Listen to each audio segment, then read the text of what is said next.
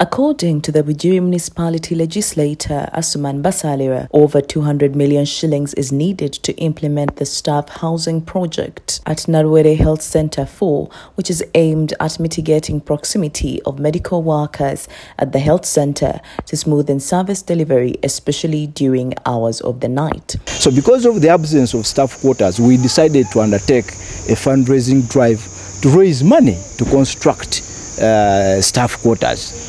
That exercise has been undertaken today. We need close to 200 million shillings. We've been able uh, today to collect almost half of that.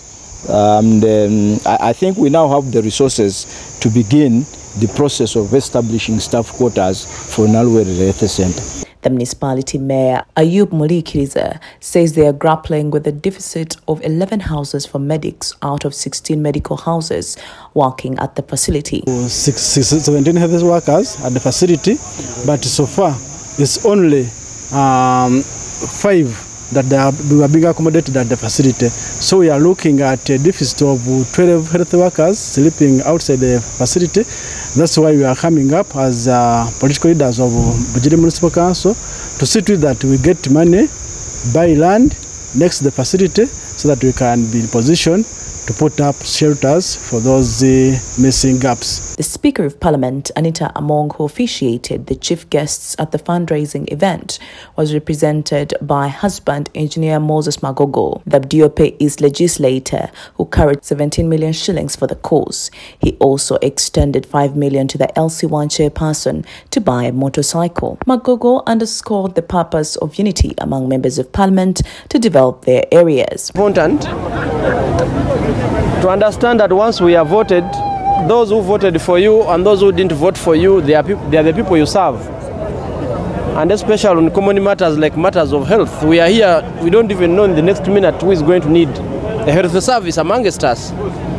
So irrespective of our political ideologies, it is very important that where government with its demanding priorities may not be able to provide, we can amongst ourselves contribute. Today we've been here mobilized by Honorable Basari. He asked why MPs prefer fundraising to extend services to their constituencies, yet budgeting is among their cardinal roles mandated by the Constitution, which they can use to achieve the same rather than stretching their pockets. Maguwan Basalira explained. The priorities of this country